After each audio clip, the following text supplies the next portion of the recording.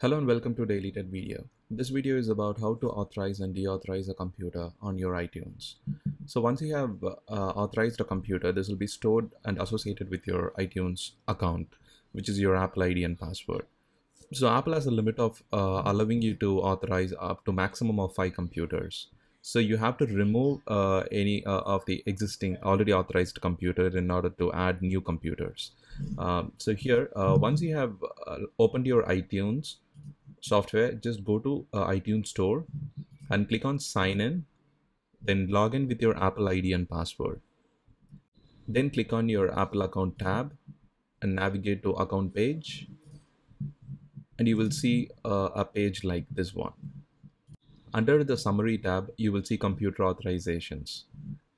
Right now I have authorized only one computer, which will be able to uh, download the contents I have purchased from uh, the iTunes store. If I have uh, more than one computer authorized, I will not be able to manually authorize by selecting each and uh, every computer uh, from the list, but Apple provides an option to deauthorize all computer uh, with a button uh, that says uh, deauthorize all. That button will be will appear here if I have more than one computer added to the list. So that is how you have to deauthorize a computer. In order to authorize, just navigate to iTunes and click on store and click on authorize this computer.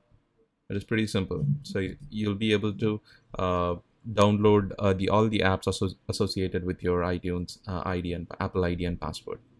Thanks for watching. Have a great day.